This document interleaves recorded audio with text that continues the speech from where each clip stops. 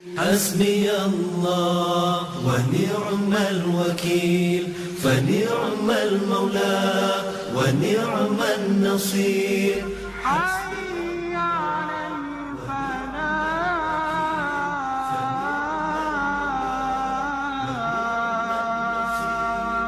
حسبي الله بھلائی کی طرف آؤ۔ الوكيل فنعم المولى.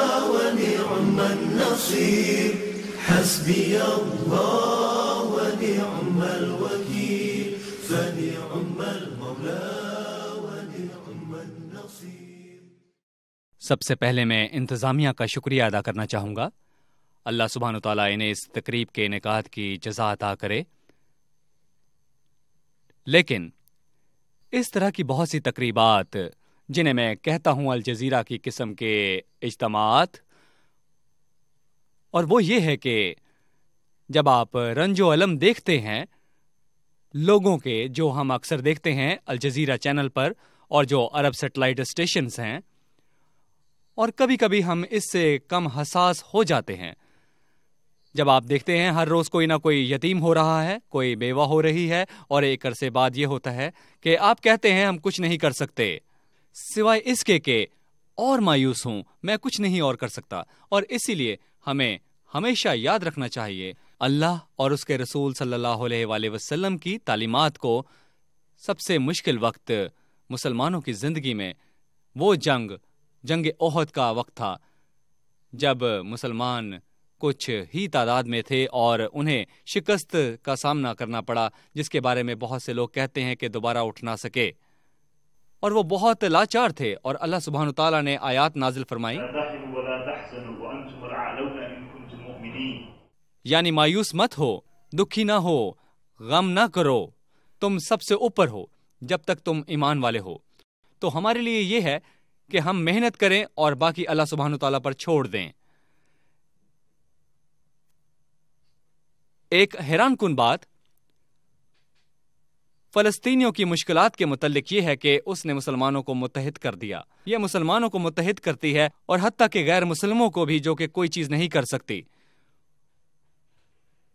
اور یہ کچھ نیا نہیں ہے۔ اگر آپ تاریخ کو دیکھیں تو آپ کو نظر آئے گا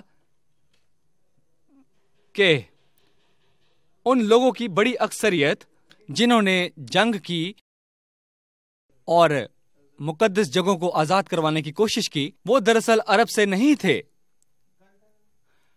اگر آپ تاریخ میں دیکھیں اور وہ لوگ جو تاریخ جانتے ہیں تو دیکھیں گے، مودود تھے اماد الدین تھے نور الدین تھے، یہ لوگ تمام ترک سے تھے اور صلاح الدین وہ کرد سے تھے، نظام الدین ملک فارس سے تھے اور اسی طرح اور بھی مفکرین تھے، کیونکہ یہ اللہ سبحانہ تعالی کا فرمان ہے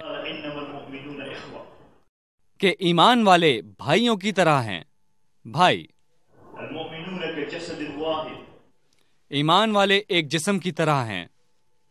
اگر سر میں تکلیف ہو تو سارا جسم اس درد کو محسوس کرتا ہے۔ اور یہ وہ وقت تھا اور آج بھی آپ دیکھ لیں۔ وہ قائدین جنہوں نے سب سے زیادہ آواز اٹھائی۔ غزہ کے حملوں کی مذمت کرتے ہوئے ان میں سے ایک ترک تھا اور ایک فارسی تھا۔ ان آیات کی وجہ سے کہ ایمان والوں کی مثال ایک جسم کی ہے۔ اور کبھی کبھی یہ شفقت کا عنصر ہم مسلمانوں کے طور پر بھول جاتے ہیں۔ آپ پیغمبر صلی اللہ علیہ وآلہ وسلم کی زندگی میں دیکھیے، آپ عمر ابن عبدالعزیز جیسے شخص کی زندگی کو دیکھیے، آپ دیکھتے ہیں کہ وہ کتنے شفیق تھے۔ عمر ابن عبدالعزیز رحیم اللہ کے زمانے میں ایک مسلمان قیدی کو روم کی زمین پر تھپڑ مارا گیا۔ اور عمر ابن عبدالعزیز نے اس بارے میں سنا۔ اور عمر عبدالعزیز نے ایک خط لکھا روم کے گورنر کو اور کہا، اس سے پہلے، اس سے پہلے کہ تم یہ خط پڑھ کر رکھو، اسے آزاد کرو، ورنہ مجھے اللہ کی قسم میں ایک فوج بھیجوں گا، جو یہاں سے شروع ہوگی اور وہاں ختم ہوگی جہاں تم ہو۔ موتسم کے وقت میں ایک مسلمان عورت کو مارا گیا روم کی زمین پر اور وہ چلائی، اے موتسم اے موتسم اور موتسم اس وقت کا خلیفہ تھا۔ اور رومی ہنسنے لگے اور کہا، تم کیوں موتسم کو پکار رہی ہو؟ وہ سینکڑوں میل دور ہے۔ تم کیا سوچتی ہو؟ وہ تمہاری مدد کے لیے یہاں آئے گا؟ اور موتسم کو خبر ملی۔ اور موتسم نے اپنی ساری فوج کو بھیج دیا۔ ساری فوج ایک عورت کے تقدس اور وقار کے لیے، ایک عورت کے لیے۔ اور یہ وہ تھا جو انہوں نے حاصل کیا تھا پیغمبر صلی اللہ علیہ وآلہ وسلم کی زندگی سے۔ ہمارا مسئلہ یہ ہے کہ مسلمان ہونے کی حیثیت سے ہم نے اپنی وراثت کھو دی ہے۔ ہم سب بات کرتے ہیں القدس کے متعلق۔ صلاح الدین، نور الدین، عمر ابن خطاب اور بہت سے۔ اور ایک ہمارے زمانے کی ہی کہانی ہے۔ ایک اسرائیل کی وہ کہتا ہے۔ وہ کہتا ہے، جب اسرائیل وجود میں آیا تھا تو عرب اس وقت بھی چھٹی صدی کی فتوحات کو اشتیاق سے دیکھ رہے تھے۔ صحابہ کی فتوحات اور ان کی فتوحات جو ہم سے پہلے آئے تھے۔ اور یہ ایک سنجیدہ مسئلہ ہے مسلم امت کا۔ ہم سب بات کرتے ہیں ابو بکر کے متعلق، ہم سب بات کرتے ہیں خالد بن ولید کے متعلق، ہم سب بات کرتے ہیں صلاح الدین کے متعلق، نور الدین کے متعلق۔ اور اگر ہم اپنی وراثت کے متعلق زندگی بسر کریں تو کوئی نمبر ون نہ ہو۔ اور آپ ایسے لوگوں کو دیکھیں کہ جب وہ صلاح الدین کا نام لیتے ہیں تو ان کا اس سے گہرا تعلق ہوتا ہے۔ غزہ کی سب سے طویل گلی کا نام صلاح الدین ہے۔ اور جب ہم ایسے لوگوں کو یاد کرتے ہیں دیکھیں ان لوگوں کا انہوں نے خیال رکھا۔ یہ ایک صفت اور خصوصیت تھی جو ان کے پاس تھی۔ جب صلاح الدین، جب وہ قبضہ کرنے والا تھا، یروشلم پر تاریخ بتاتی کہ کسی نے صلاح الدین سے پوچھا، ایسا کیوں ہے کہ ہم نے آپ کو بہت کم مسکراتے دیکھا ہے؟ بہت کم۔ کیا وجہ ہے؟ اور صلاح الدین نے پورے مصر پر حکومت کی تھی۔ اس نے شام، لبنان اور یمن کے حصوں پر حکومت کی تھی۔ اور اس نے کہا، میں کیسے مسکرا سکتا ہوں؟ میں کیسے مسکرا سکتا ہوں جب کچھ سلیبیوں کے قبضے میں ہے؟ تو اس نے یہ کہاں سے سیکھا؟ اس نے یہ اپنے استاد سے سیکھا نور الدین سے۔ ان میں سے کوئی عربی نہیں تھا۔ وہ کہہ سکتے تھے یہ عرب کا مسئلہ ہے۔ اربوں کو اس سے خود ہی نمٹنے دو۔ نہیں، یہ اس نے اپنے استاد سے سیکھا تھا۔ جب دمیات کا محاصرہ ہوا اور سلیبیوں نے دمیات پر قبضہ کیا اور نور الدین محاصرے میں تھا، دمیات میں تاریخ بیان کرتی ہے کہ بیس دن تک نور الدین نے روزہ رکھا اور وہ کہتے ہیں کہ اسے اتنی فکر تھی کہ وہ صرف پانی کا استعمال کر سکتا تھا۔ یہاں تک اس کا جسم بہت لاغر ہو گیا۔ اور پھر وہ حدیث کے علماء اور دوسرے مفکرین کے حلقے میں بیٹھا تھا، اور یہ وہ روایتیں ہیں جنہیں ہم مسلسلات کہتے ہیں۔ جہاں انہیں اس خاص طریقے سے بیان کیا گیا ہے اور اسے مسلسل تبسم کے ساتھ بھی کہتے ہیں کہ اسے مسلسل تبسم کے ساتھ بیان کیا گیا ہے۔ اور نور الدین اس اجتماع میں بیٹھے تھے اور حدیث کے راوی نے یہ روایت بیان کی ہے۔ اور پھر وہ مسکرائے، کیونکہ جب پیغمبر نے بیان کی تو وہ مسکرائے۔ اور جب صحابی نے دیکھا کہ پیغمبر صلی اللہ علیہ وسلم مسکرا رہے ہیں تو وہ بھی مسکرائے۔ اور اسی طرح جب صحابی نے اپنے شاگردوں سے بیان کی تو وہ بھی مسکرائے اور ان کے شاگرد بھی مسکرائے۔ اور اسی طرح یہ ہمیشہ بیان ہوتی رہی مسلسل تبسم کے ساتھ۔ اور حدیث کا راوی مسکرایا اور اس نے کہا، اے نور الدین مسکراؤ۔ اور نور الدین کو مسکرانا چاہیے تھا، مگر نور الدین نہیں مسکرایا۔ اور نور الدین نے کہا، میں اللہ کے سامنے شرمندہ ہوں مسکرانے پر کہ جب مسلمان قبضہ میں ہیں، ہم لوگ مستثنا ہو گئے ہیں۔ اس حقیقت سے کہ مسلمان آج کل قبضہ میں ہیں۔ اور میں یہ کہتا ہوں، اللہ کی قسم سنجیدگی سے، وہ بھائی جن کی آزمائشیں ہو رہی ہیں، وہ تمام بھائی جو غزہ میں ہیں، ان کے چہروں پر تھپڑ، وہ ان غزہ کے لوگوں اور فلسطینیوں کے منہ پر تھپڑ نہیں ہیں، یہ ہمارے منہ پر ہیں۔ اپنے آپ کو مسلمان کہتے ہیں کیونکہ ہم مسلمان ہیں، تعداد میں اور اربوں ہیں۔ تعداد میں اربوں ہیں اور دیکھیں کیسے ہمیں ذلت کا سامنا ہے کیونکہ ان کی ذلت ہماری ذلت ہے۔ ان کے لیے ان کا رتبہ بلند ہو رہا ہے، ان کا رتبہ بلند ہو رہا ہے۔ وہ قبضہ میں ہیں، وہ اپنی جنگ لڑ رہے ہیں۔ لیکن وہ تھپڑ ہمارے منہ پر ہے۔ ان لوگوں کا ایک حیرت انگیز نتیجہ ہے۔ مطلب یہاں کچھ بھائی ہیں جو دیکھ رہے ہیں، ہر کسی شخص سے آپ بات کرتے ہیں، وہ کہتے ہیں، وہ ایک دوسرے سے کہتے ہیں۔ الحمد للہ الحمد للہ اللہ کل حال۔ جانتے ہیں، میں ایک بھائی سے ملا تھا جس نے اپنی پانچ بیٹیاں گوا دی تھیں۔ کیا آپ سوچ سکتے ہیں پانچ بیٹیاں؟ آپ سب نے کہانی سنی ہوگی، سب مسلمانوں نے وہ کہانی سنی ہوگی۔ خنسا کی، قادسیہ کی جنگ کے دوران۔ جب اس کے چار بیٹے تھے اور وہ اپنی جوانی میں تھے اور اس نے انہیں کہا کہ کل میں تم سب کی قربانی دینا چاہتی ہوں۔ اپنے کفن پہن کر میدان جنگ میں جاؤ اور میں نہیں چاہتی کہ تم واپس آؤ۔ اور ان میں سے ہر ایک میدان جنگ میں گیا اور وہ شہید ہو گئے اور اس کو خبر ملی تو اس نے کہا، تمام تعریفیں اللہ کے لیے جس نے انہیں شہادت کا رتبہ عطا کیا، ہم یہ کہانیاں سنتے ہیں اور یہ ہماری وراثت ہیں۔ لیکن غزہ میں وہ لوگ ہیں جو سنت کی تجدید کر رہے ہیں۔ اور میں آپ کو بتا رہا ہوں کہ اس بھائی نے اپنی پانچ بیٹیاں کھوئی تھی اور مجھے یاد ہے کہ جب وہ اپنی بڑی بیٹی کی کہانی سنا رہا تھا کہ وہ اچھی تھی اور اسے معاشرے میں قدر کی نگاہ سے دیکھا جاتا تھا اور وہ ہر روز رات کو اپنے بازو، اپنی دو چھوٹی بہنوں کے گرد لپیٹ کر سوتی تھی۔ اور اس نے کہا، جب بم گرا اور ہمیں ہوش آئی اور ہم نے ملبہ ہٹایا تو وہ بالکل اسی حالت میں ملی۔ اور جو بھائی یہ سن رہے تھے وہ رونے لگے اور وہ باپ جس نے پانچ بیٹیاں گوا دی تھیں، وہ اٹھا اور اس نے بھائیوں کو تسلی دی جو رو رہے تھے اور اس نے انہیں کہا، اے بھائیو، صبر کرو صبر کرو، کیونکہ وہ اللہ کے پاس جنت میں ہیں۔ اور پھر اس کی ایک اور بیٹی تھی جو سولہ دن کی تھی جب اس کی بہنیں فوت ہوئیں اور اس نے اسے بھی اٹھایا اور کہا، مجھے اللہ کی قسم یہ بھی اللہ کی امانت ہے۔ اگر اللہ سے بھی واپس لینا چاہے تو وہ اسے لے سکتا ہے۔ نہیں، آپ کو ایسے لوگ کہیں اور نہیں مل سکتے۔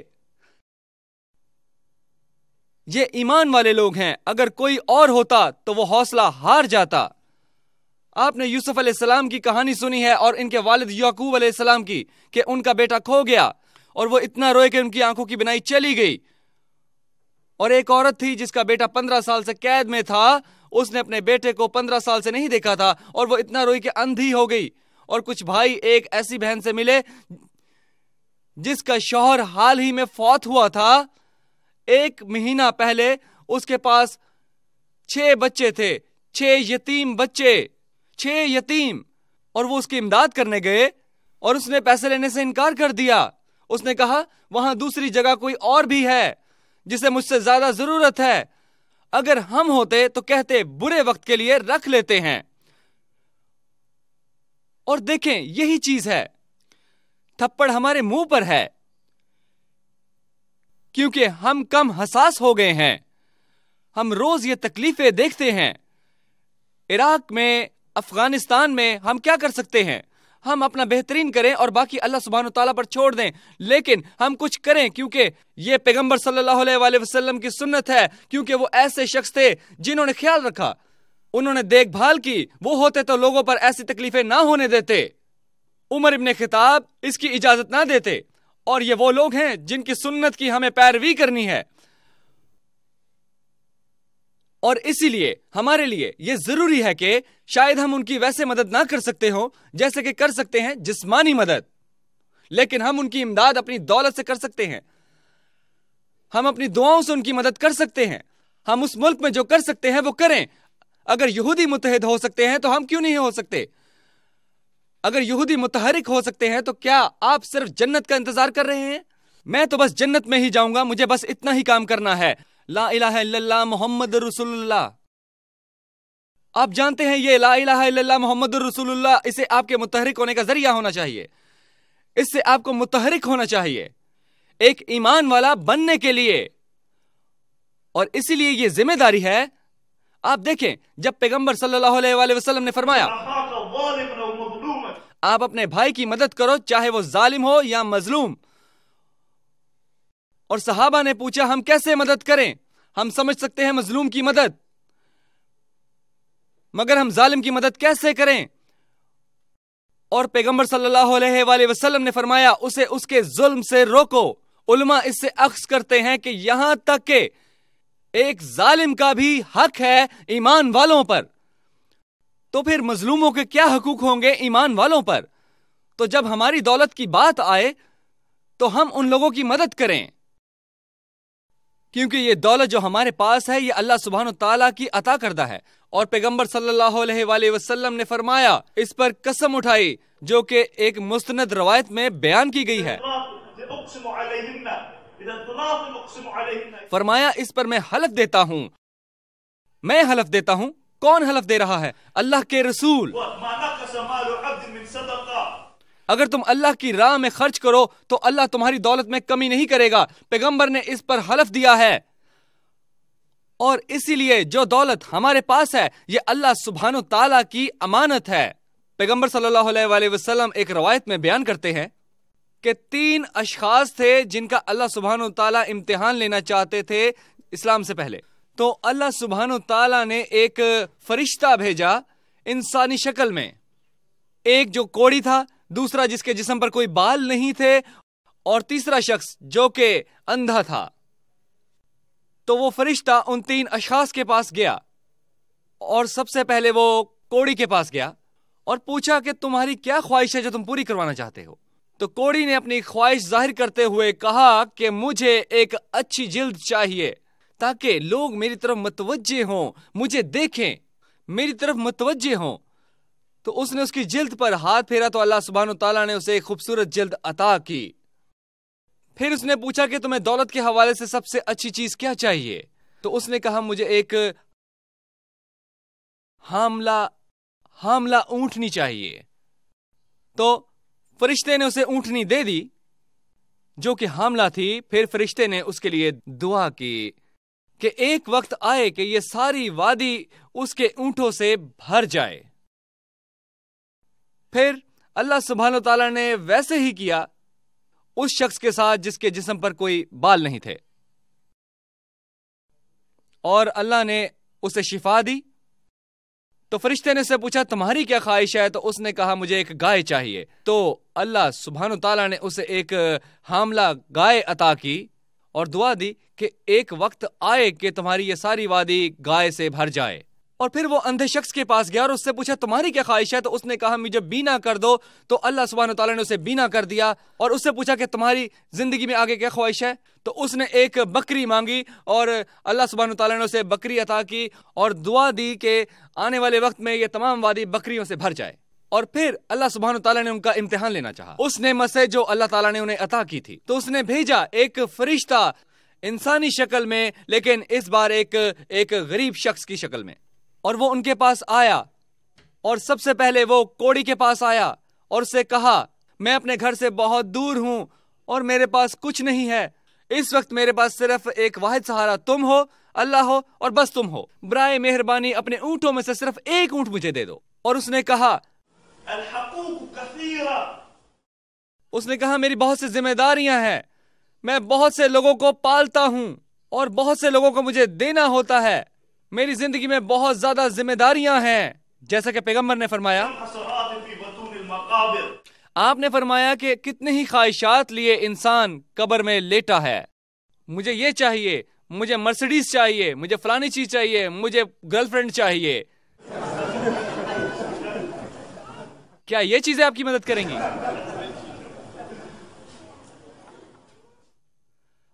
اور حقیقت یہی ہے کہ خواہشات کبھی ختم نہیں ہوتی کبھی نہیں کبھی نہیں ختم ہوتے ہماری خواہشات کبھی نہیں ختم ہوتے ہیں۔ اور اگر ہم پیغمبر کی تعلیمات پر عمل کریں، جیسا کہ آپ نے ابو ذر سے کہا، اے ابو ذر، ان کی طرف دیکھو جو تم سے نیچے ہیں، ان کی طرف مت دیکھو جو تم سے اوپر ہیں۔ تو آپ ان لوگوں کو دیکھیں جو لوگ غزہ میں ہیں۔ اور آپ دیکھیں، وہ تکلیفیں جو غزہ کے لوگ دیکھ رہے ہیں۔ تو آپ کو احساس ہوگا کہ اللہ نے آپ کو کتنا دیا ہے۔ واللہ لیکن اگر آپ انہیں دیکھیں گے جو آپ سے اوپر ہیں، تو آپ ہمیشہ مزید کی جستجو کریں گے اور آپ کبھی راضی نہیں ہوں گے، جیسا کہ پیغمبر نے فرمایا، اگر انسان کے پاس سونے سے بھری دو وادیاں ہو تو وہ تیسری کی آرزو کرے گا۔ فقط وہ چیز جو اس کا پیٹ بھرے گی، وہ قبر کے اندر کی مٹی ہے۔ آپ ہمیشہ مزید چاہتے ہیں، یہ کبھی ختم نہیں ہوتا۔ اور کیا ہوتا ہے کہ آپ زیادہ چاہتے ہیں اور وہ آپ کو حاصل نہیں ہوتا اور آپ دعائیوں پر لگ جاتے ہیں۔ کیونکہ تمنا کبھی ختم نہیں ہوتی لیکن واللہ اگر آپ فلسطین کے لوگوں کو دیکھیں، اور دوسرے لوگ جو تکلیفوں میں ہیں ساری دنیا کے اندر، تو آپ کو احساس ہوگا کہ اللہ نے آپ کو کتنا عطا کیا ہے۔ اور بہترین چیز جو ہم اس نعمت سے کر سکتے ہیں جو ہمارے پاس ہے، وہ ہے شکر، اور اللہ فرماتا ہے، اگر تم شکر کرو گے، اور شکر کا یہ مطلب نہیں جیسا کہ ایشیائی لوگ کہتے ہیں، ان کا شکریہ ہے۔ شکر الحمدللہ، ایسا ہی ہے۔ شکر اس طرح نہیں ہوتا۔ قطعی شکر یہ ہے کہ آپ دیں وہ جو اللہ نے آپ کو دیا ہے، ان لوگوں کو جنہیں اس کی ضرورت ہے۔ یہ قطعی طور پر شکر ہے۔ اور اسی لیے واللہ ہمیں کثرت سے اللہ کا شکر ادا کرنا چاہیے۔ جس نے ہمیں صلاحیت دی ہے، جس نے ہمیں موقع دیا ہے کہ اللہ سبحانہ تعالیٰ کی راہ میں خرچ کر سکیں، تاکہ یہ ان تک پہنچے جنہیں غزہ میں اس کی ضرورت ہے۔ اللہ سبحانہ تعالیٰ ہمیں ان میں سے کرے جو اپنی روایات کی تجدید کرتے ہیں۔ اللہ سبحانہ تعالیٰ ہمیں دنیا میں متحد رکھے اور اللہ سبحانہ تعالیٰ ہمیں جنت الفردوس میں دوبارہ متحد فرمائے۔ حسبی اللہ ونعم الوکیل